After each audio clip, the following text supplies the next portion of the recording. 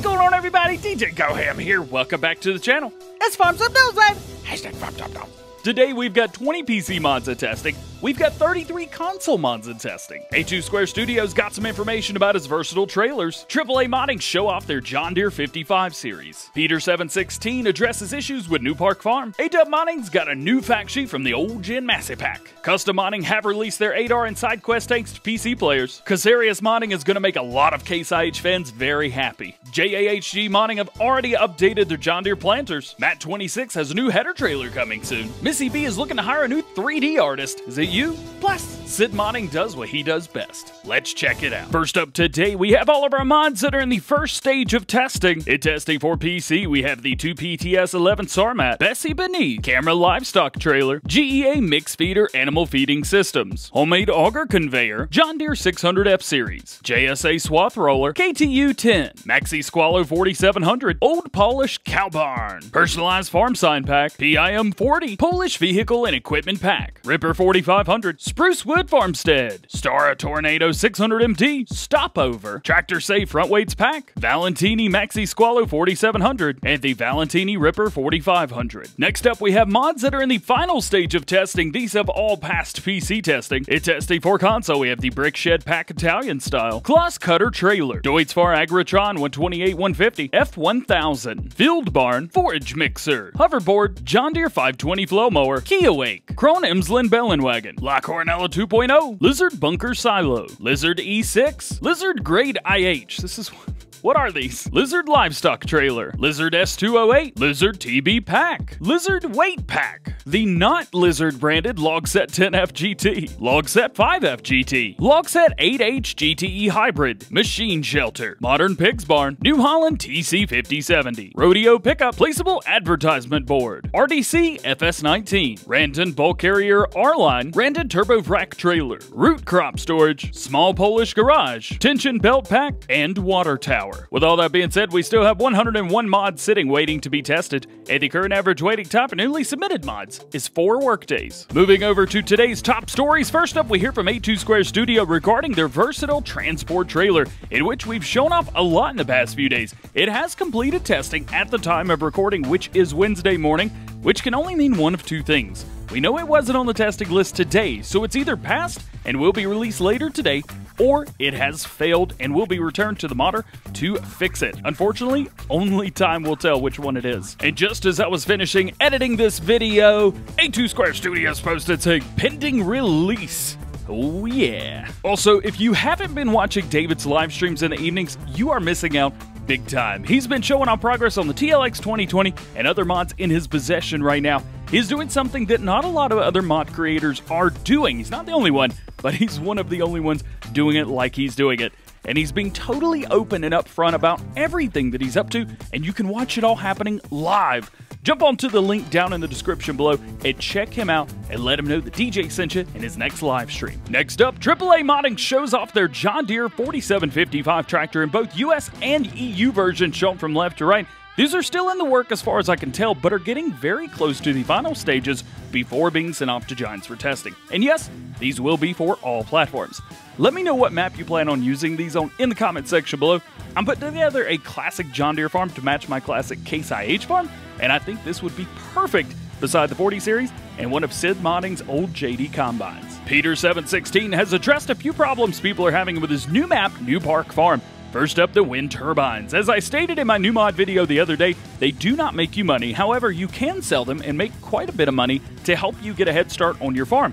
He says he may try to have them make money for you in the future update, but that could be strange unless you own the land, which they are on to begin with, which you do not right now, or else they just won't work.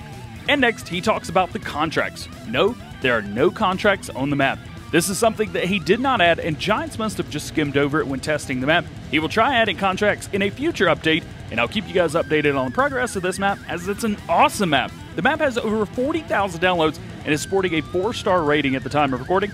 Not bad, Peter. That's really cool. A-Dub Modding is channeling his inner DJ Khaled, calling for another one. Today, we've got another fact sheet from the old Gen Massey pack, and it's the Massey Ferguson 600C two-wheel drive version.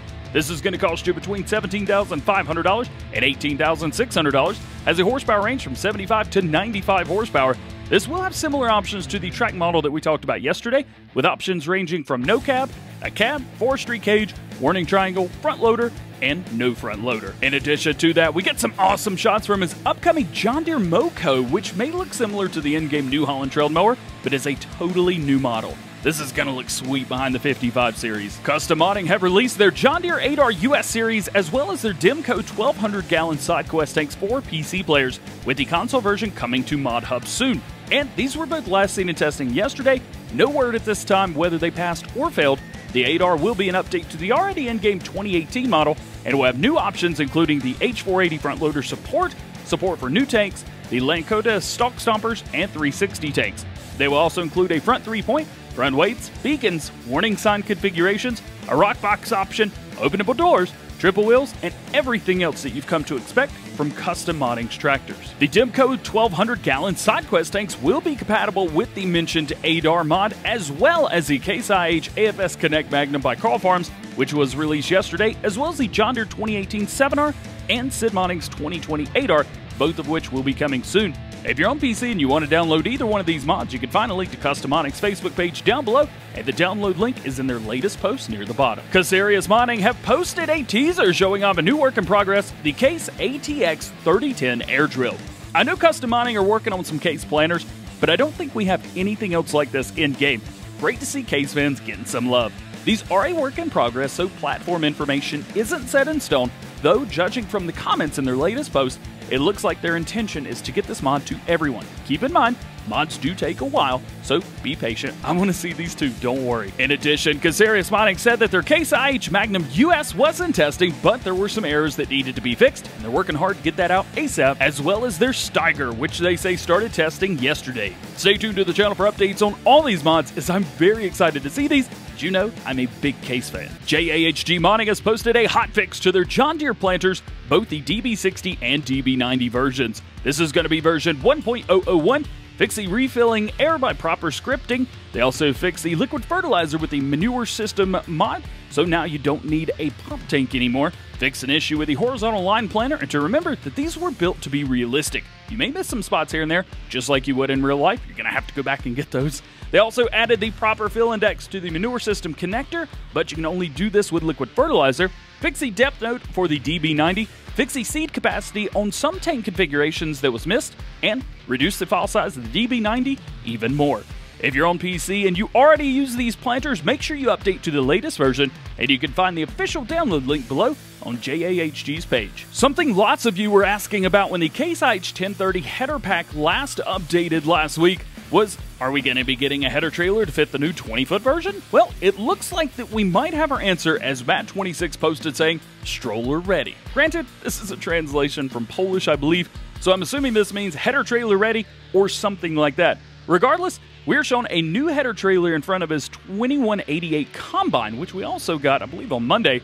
I'm loving that, by the way.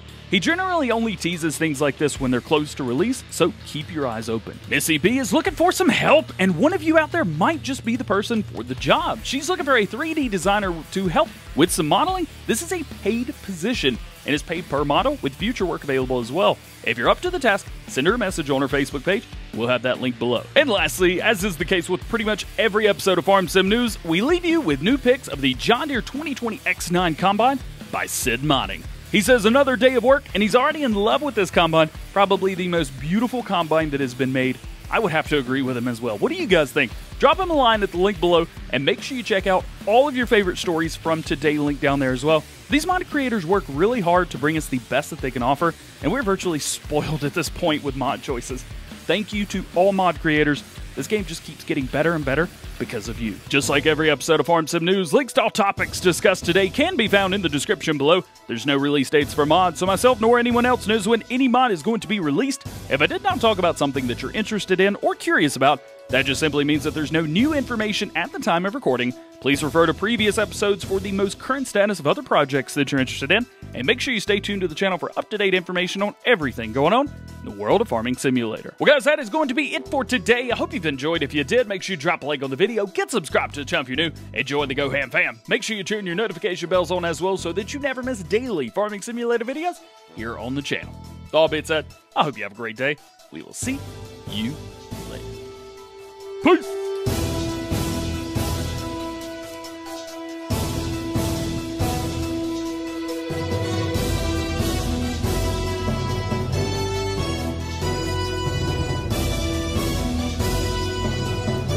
Oh, yeah, we're getting closer. Three more days to the 12 hour live stream. Let's go.